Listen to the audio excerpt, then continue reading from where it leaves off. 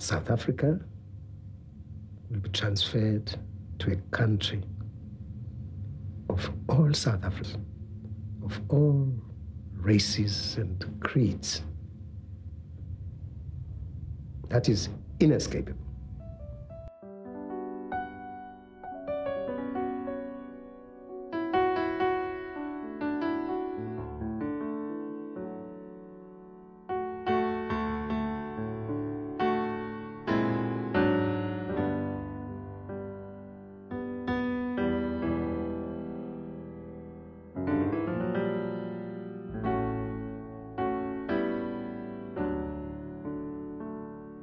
What was happening during the 60s was that the repression was so intensive that the, the enemy dictated conditions of silence. Uh, people didn't say anything and they avoided doing anything, but they were waiting because in the early 60s, uh, cadres left the country for military training. So the people were waiting. Um, well, the ceiling of repression was broken in the early uh, 70s, in part as a result of the actions by the ANC. For example, the clashes the, in, in, in, in, in what was then Rhodesia, in, in Wankie, where the ANC was involved together with Zimbabwean uh, liberation forces. That uh, opened the gates and the people became to, began to come out more boldly. This was in 1967, 68. Um, so during the early 70s, there was a growing build-up, even within South Africa, because people had become more defiant. The enemy could not contain the, the determination of the people anymore. And so then you, you, you, you, you then began to, uh, to get the, um, the mood of resistance and defiance which the ANC had inculcated during the 50s.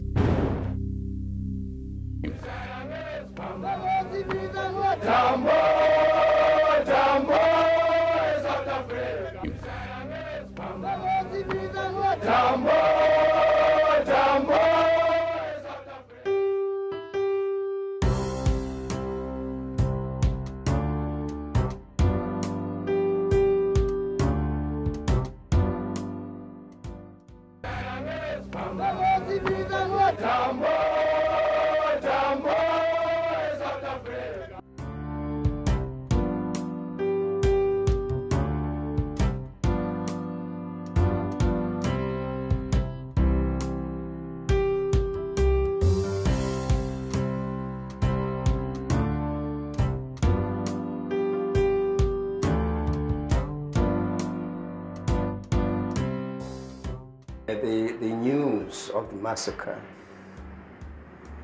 stunned and shocked us and angered us, angered us greatly.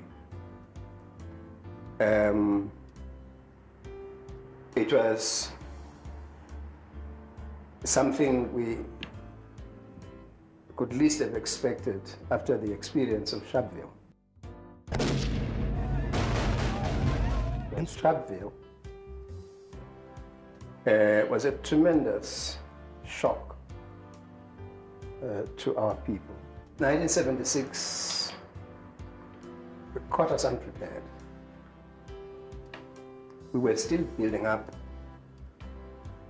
on mass mobilization and building up on our armed struggle. Um,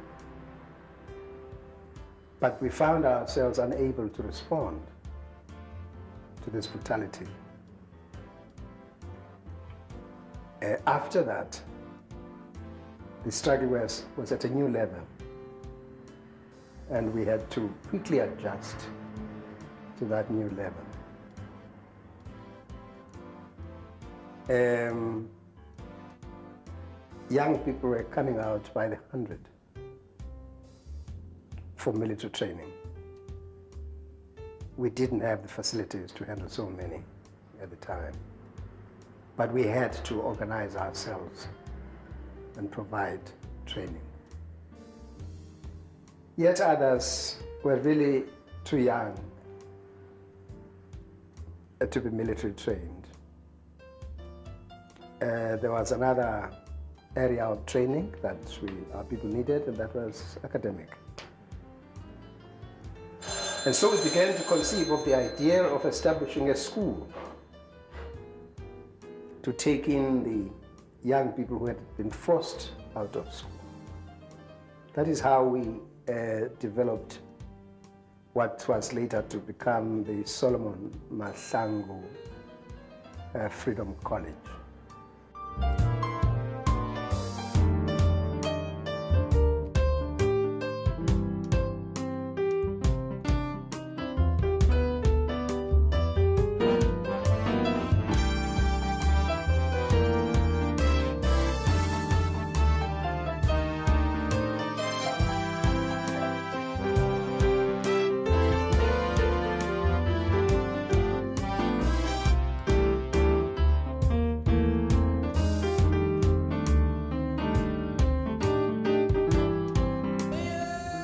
This occasion, the world is with us in support, guaranteeing that we shall win.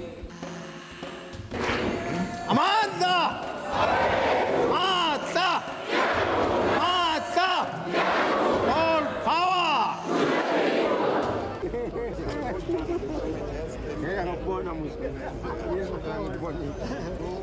Shall I help you?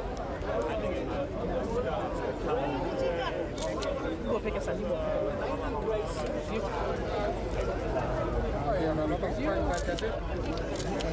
Thanks very much. Okay. Why are the head of the women?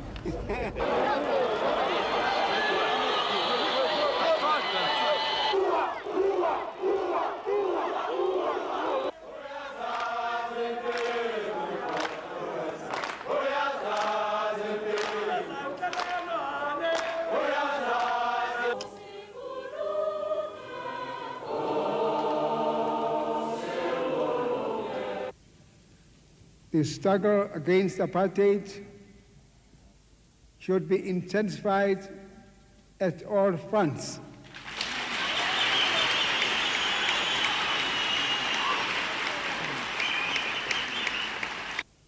If peaceful negotiations will result in the formation of a united, democratic, non-racial, and non-sexist South Africa,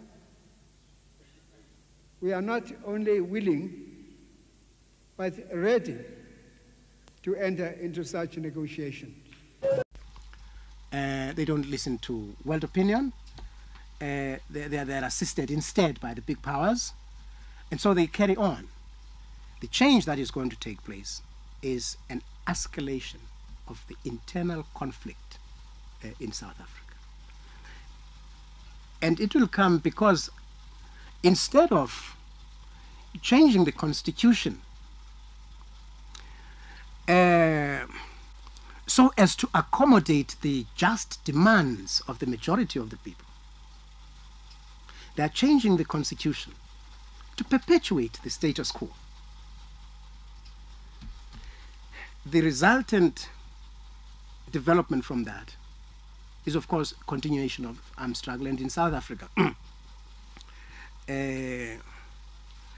it's going to be as violent and as bitter as it has been anywhere in the world, I think. Uh, that is obvious from the hectic preparations that are going on um, under orders from um, Minister of Defense throughout the country. At homes, in townships, their townships, uh, factories, in small dorps, in towns, on the farms, hectic preparations, which, of course, ensure this escalation because they are predicated on the knowledge that the oppressed are on the offensive. A clash is coming. Now, therefore, the, the changes in the constitution uh, will escalate the situation because those changes simply fortify and consolidate the status quo.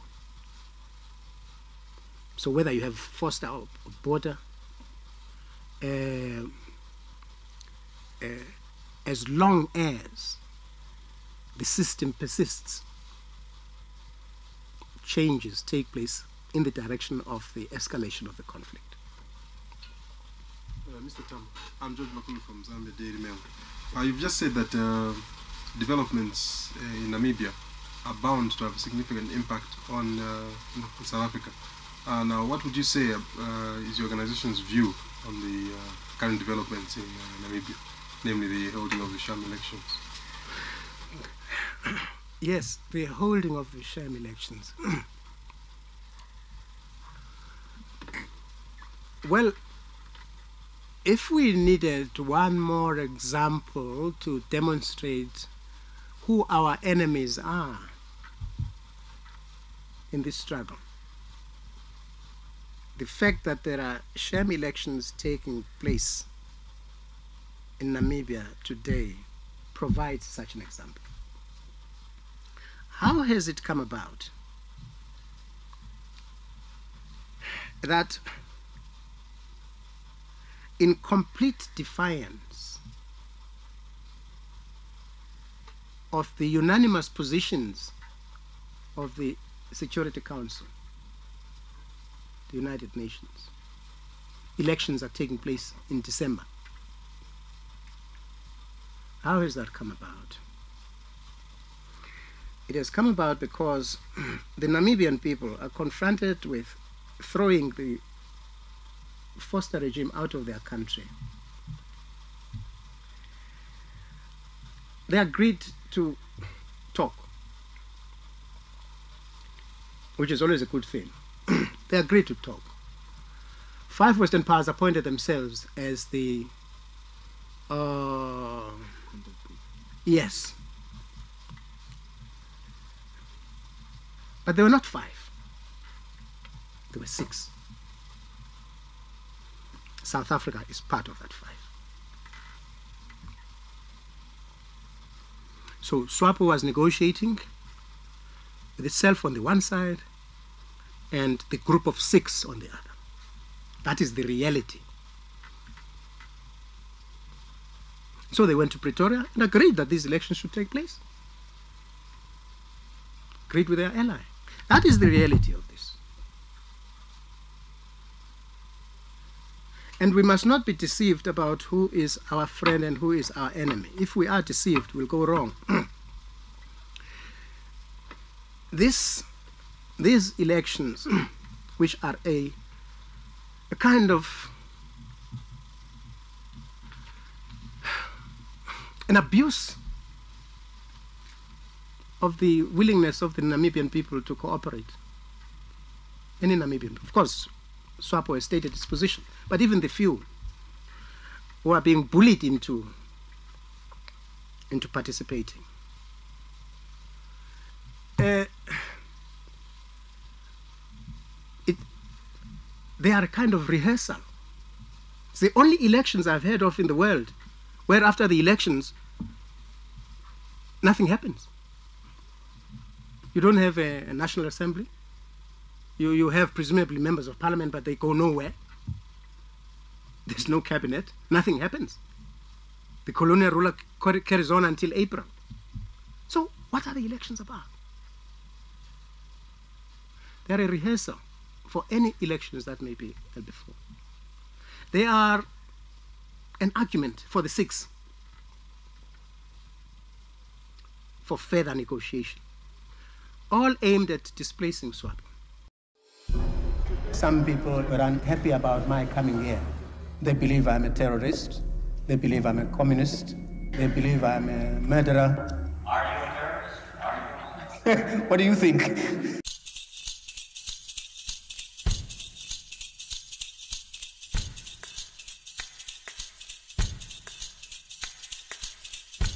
Nelson Mandela said, his first speech that he made after he was released from Pollsmoor, if it had not been for Comrade Oliver Tambo, I would not be here and the ANC would not exist. Oliver Tambo has been described quite correctly as one of the greatest statesmen of the 20th century. What we want in South Africa is that our humanity should be acknowledged.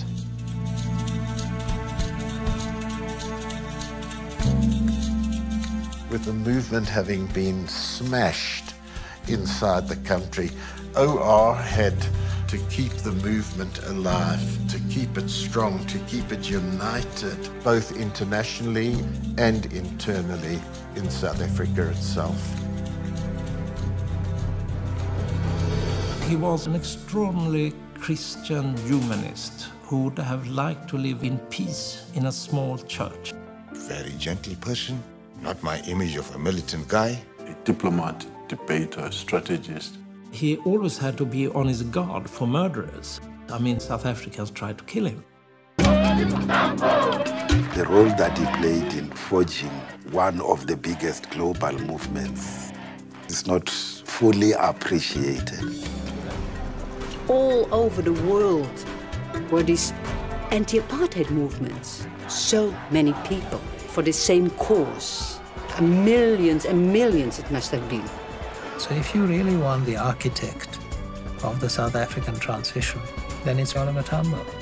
There is not enough rain in the skies for us to be able to shower on him the honor he deserves. Oliver Tambo Oliver Tambo thetha nobhoda khuluma Well, thank you very much. you have turned me into a little film star.